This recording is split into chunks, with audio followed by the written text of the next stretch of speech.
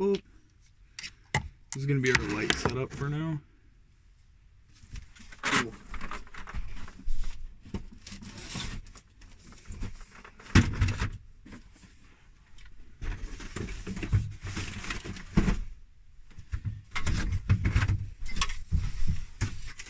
Ah. Hello all. My name is Dillan Wabrowski, and I am currently converting this van. So today we just pulled all of the seats out. This is a 2003 Chevrolet Express Chariot conversion van. Um, it's rocking a 5.3 liter V8. I believe that is LS. I have no clue. I bought it for two grand.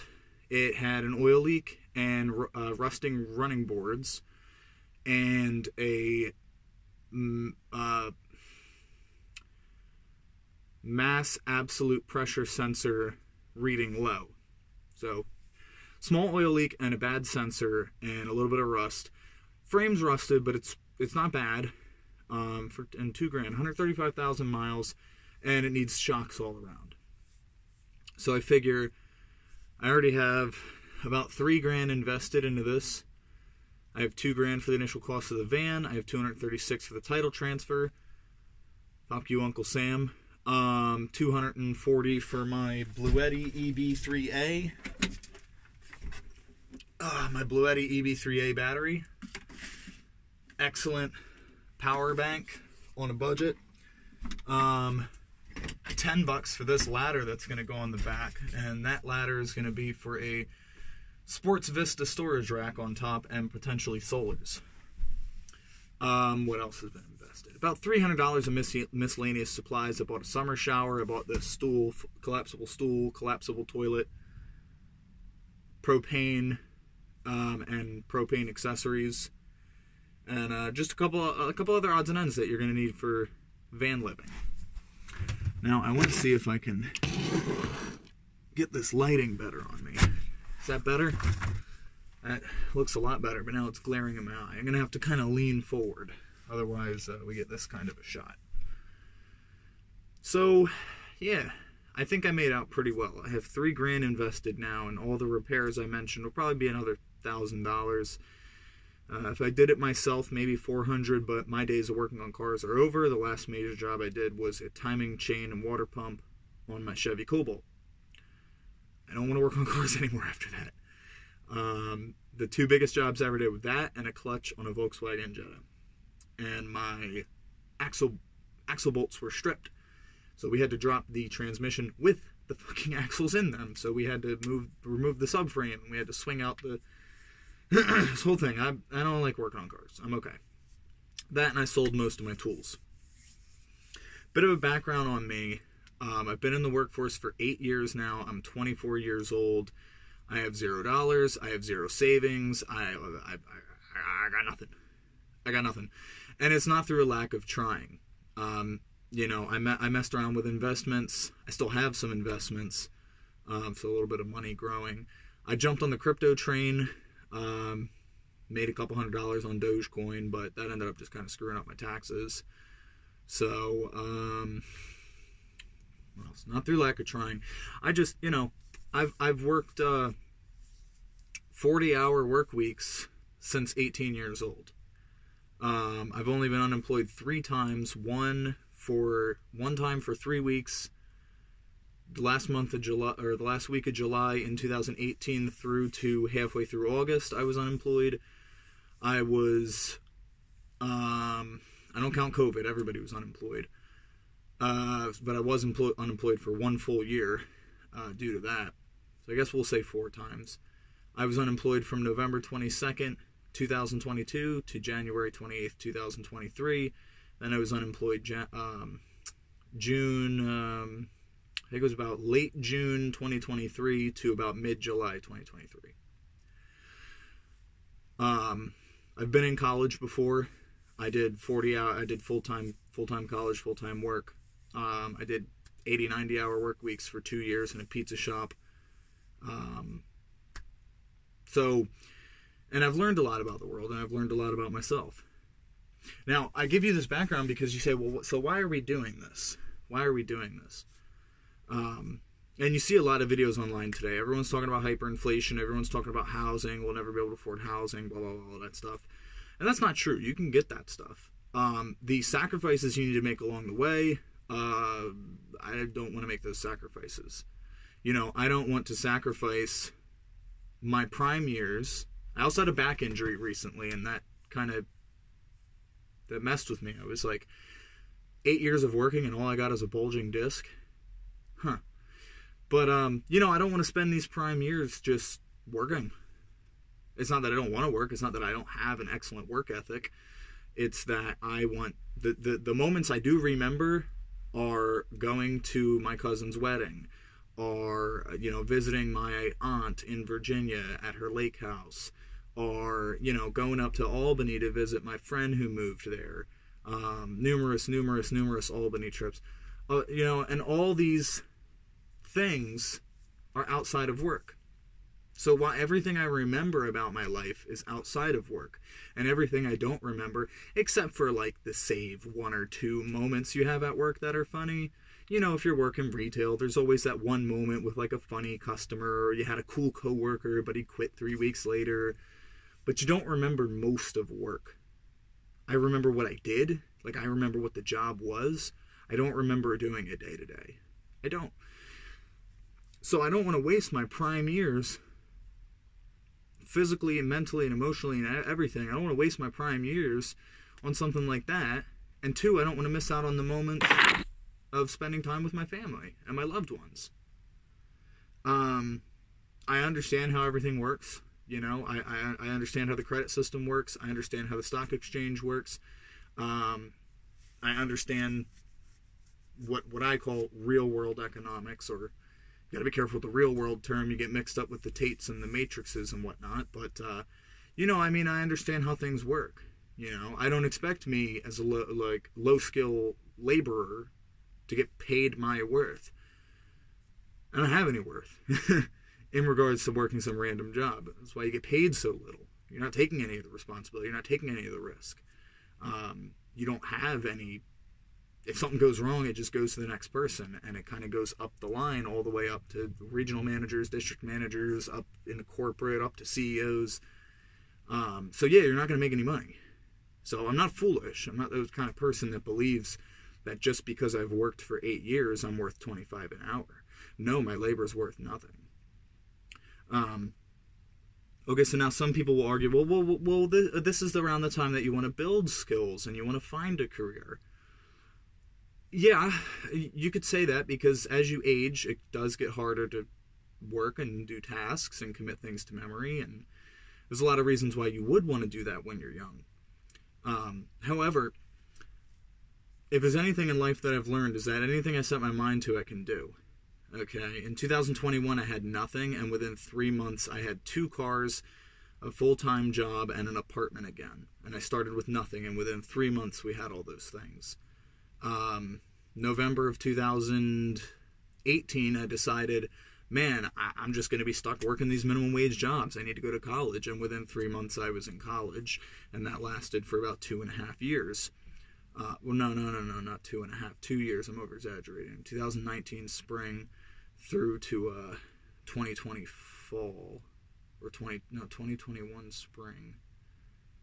Yeah, 2021 spring of two years. I, I've been working all day, so my math's a little messed up. COVID, COVID happened, and my life fell apart, and I got out of college. Um, that's a separate separate story, but uh, but you know, so the way I figure is if I can get a bachelor's degree in four years, why do I need to be age 20 to 24 to get it? Or why do I need to be age 26 to 30 to get it?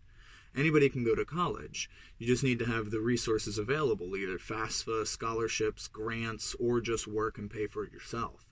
So I see no rush to do that.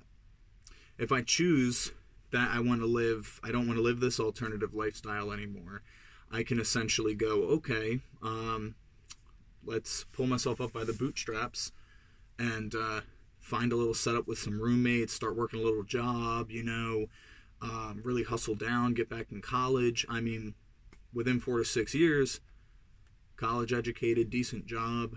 From there, you can go and, and apply for the, the um, first time home buyer's loan and the, the federal, uh, heck's it called? Federal, federal mortgage loans and things like that and get yourself in a house. And that's what got me to thinking and what got me to realize, realizing I want to do this is that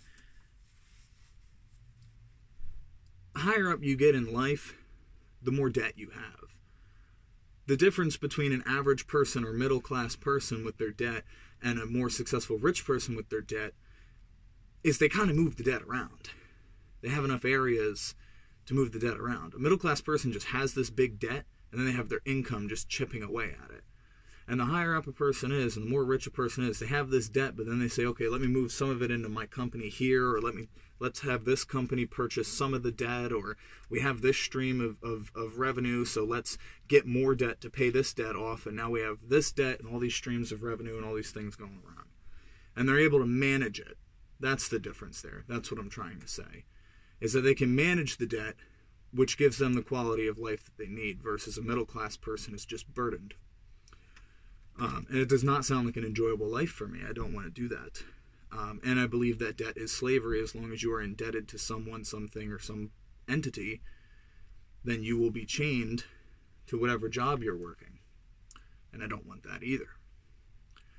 I want to work and I want my money to be mine. And I want my money to invest into something I can say that I have or own. Which brings me to a whole different topic, because if you own a house, you really don't own it because you have to pay property taxes on it. And your property taxes is, goes based on your assessed home value. So if you live in an area where you get a bunch of richer people moving in and you're the poorest person in the neighborhood, you'll get booted out eventually because you won't be able to keep up with the property tax. So for right now, this makes sense. And I don't see myself wanting to pay rent again. I'm tired of losing. I calculated how much rent I've paid in my lifetime so far in eight years, and I believe it was uh, like somewhere between the 80k and like 110k range. And I thought to myself, wow, with that amount of money, I could purchase a property and build a modular home on it. With that amount of money, I could build a completely decked out tiny home or, or, or van conversion. I can buy one of those Mercedes Sprinter vans, no problem. Sorry, I just noticed one of my uh, one of my blinds was kind of sick and crooked. Well, anyway, I'm talking about a whole lot of something while simultaneously talking about a whole lot of nothing.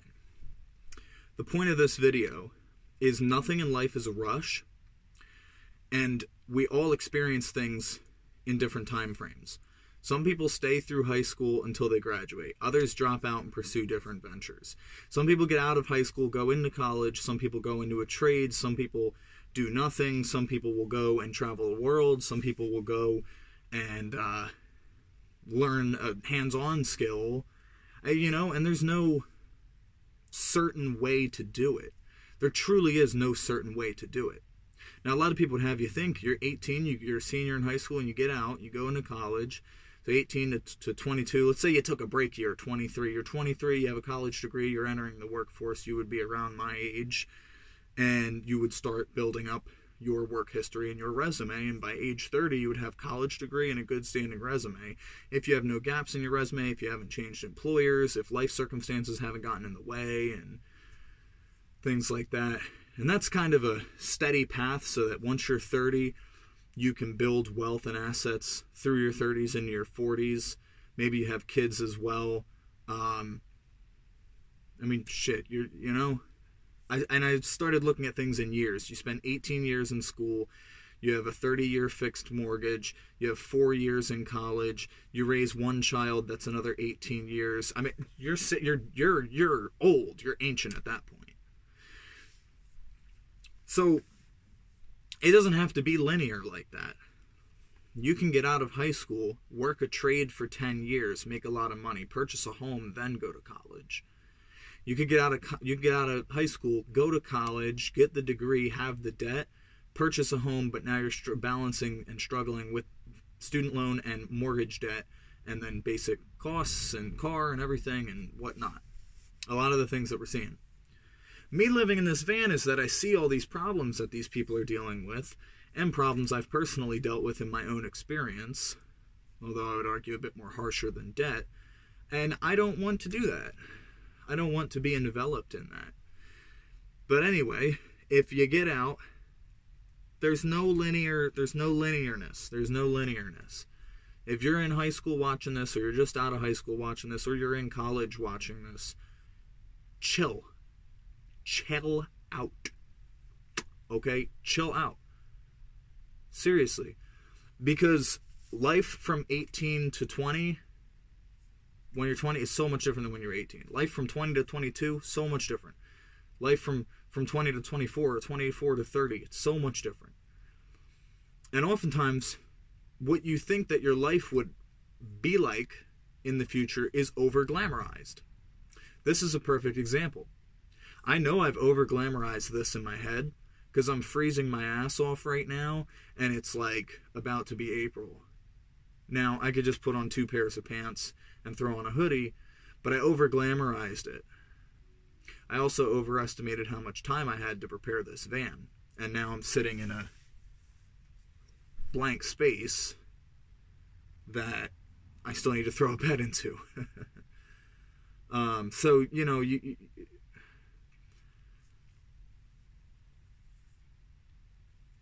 life life life happens. You can't really control you can attempt you can attempt to prepare and of course make smart decisions and make good decisions and take care of the people you love and your friends and your family and take care of your business but you can't exactly control life. You can have a set path in mind but you can't control it. You can't keep yourself on that path because if you hit a bump and you go on this path you're going to spend so much time trying to swerve back on that path you miss the mark entirely. But if you hit that bump and you just take a little side road for a second and turn back on, be fluid. I often sit in nature and meditate. When you're in nature and there's wind gustling, you see a lot of people, or even rain when it's raining, you see a lot of people, oh, you know, get the umbrella and, and, and hide under the umbrella, or the wind's coming and they're like, ah, you know, they're holding on to their hat and whatnot. And, and that's us as humans, that's our nature. Now look at a tree if a gust of wind hits a tree, the tree rocks and then it just it goes with the wind and then it just goes right back unbothered. Now, if we were trees, we would get hit with the wind and we'd be pushing all like this, and then we'd end up snapping back this way and flipping all around and hurting ourselves. So be fluid and be adaptable. And whatever adaptation looks like to you, my adaptation is this I'm really obsessed with this freaking ladder, dude. Like this thing is so I might just keep the this this ladder I might keep even after I'm done living in a van. I just it's I don't know, it's it's like almost like a pool ladder, like I'm just I think I'm obsessed. I think I need to get it out of my way. But yes, the entire point of this video live life how you want to live it um, live life how you want to live it. And as long as you are not harming anyone else and you are not bringing dishonor onto the people that care for you or your family, and as long as you are not disrespecting authority and you're not disrespecting the public, do whatever the hell you want if you hit those three things. Do whatever you want. You know? This is America. It's not all bad. It's not all bad. There's a whole lot of bad in it. But it's not like this the internet and media has been portraying it. It is not that bad. It's it's bad. Every place has its badness. But for the most part in this country, you're free to do whatever you want. I can live out of this van if I so choose to do so. So long as I'm doing my due diligence as a citizen and respecting those around me and not really causing a, a ruckus. Staying away from drugs. Stay away from drugs. I've never gotten into hard drugs, but plenty of people I know have, and, and they're not here anymore. Stay away from drugs. Um, I actually just had a situation with some people here sleeping out of a car doing drugs, and I said, There's nothing wrong with sleeping out of a car, but what you're doing is wrong. Um, but so in this country, I mean, as long as you hit those marks and uh, and you are a responsible person and a logical person, and uh, you keep sharpening your mind and, and you don't let your emotions control you, then you can do anything in this country. Be that living out of a van or becoming a master tradesman and building a company or going to college and getting a degree and climbing a corporate ladder. You can, you, the options are there. You know? So I think I want to end these videos when I do them is I want to end with with one final quote to kind of sum up whatever I've been talking about. I think the end of this video will be blame no one except yourself. Let me repeat. Blame no one except yourself, for then no one but yourself can stop you. And with that, ladies and gentlemen, stay squeaky clean. Please don't smell like dookie when you're walking in public. Nobody likes that. Stay stay squeaky clean. Live your life. Respect your fellow man. And have a great night. Leaning over hurt my knee, man. Whoa.